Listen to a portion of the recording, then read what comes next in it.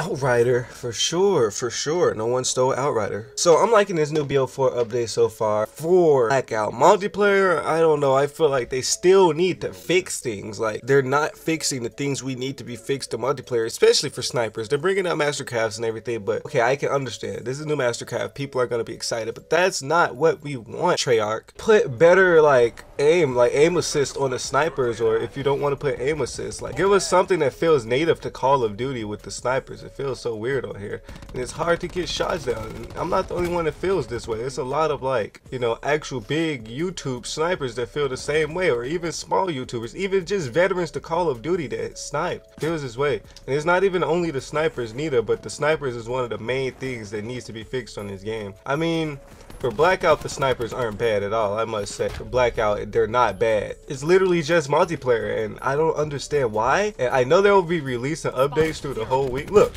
what? See what I'm saying? If that was any other Call of Duty, that guy would have been dead. The hitboxes are so weird. I don't know. I know they'll be releasing updates through the whole week because there's so much content they're bringing out for this new update, and it's insane. I really feel like this is the update that's gonna bring like BO4 back from where it was going. I understand, but they should have brought out more content before the update. You know what I mean? I hope you guys understand me.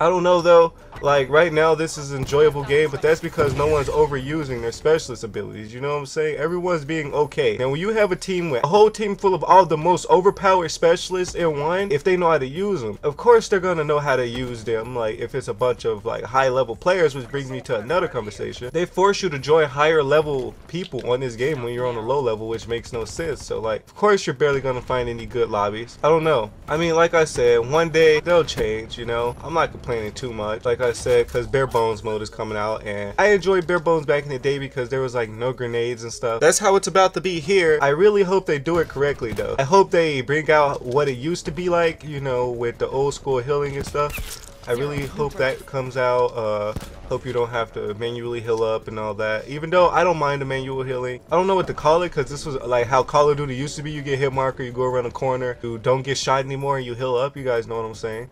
Instead of having to press a trigger to inject a stem pack into yourself like it's Fallout. You know, there's so many things though that is gonna be great, and I can't wait for that for the new vehicles to come out because I want to drive Mustangs around the map. Like I said, favorite vehicle. I said this in yesterday's video. My favorite vehicle of all time in real life is Mustang. Since that they added it to the map, I almost peed myself. It's been a great update so far. I, I have nothing to complain about. They're bringing League Play out tomorrow, so there's not going to be that many tryhards online. I have nothing to complain about at all, and I'm tired of people max prestige pretty much almost the max level on this game complaining. You know what I mean? If you're gonna try hard on a game like that, don't complain about it, guys. Great update though. I'm enjoying Outrider as well. It's a solid update. I don't care what no one says. Black Ops 4 is, if not the best Call of Duty, one of the best Call of Duties. But um, another thing that I really love, and I know people are gonna be like, no, that sucks. You can't. They brought supply drops back, and you can earn them by playing the game. People think you have to buy them, but you don't. You earn them while playing the game. Before I leave, before I end this video, I want to show you guys. I got a rare skin. I wouldn't say rare, but I got the special skin. Skin that I wanted because I'm a Walking Dead fan. I wanted to be a walker or a zombie. If you guys don't understand what a walker means, uh, and I wanted to be a whisperer. And this is the first thing I got out of the supply drop, and I I, I love it.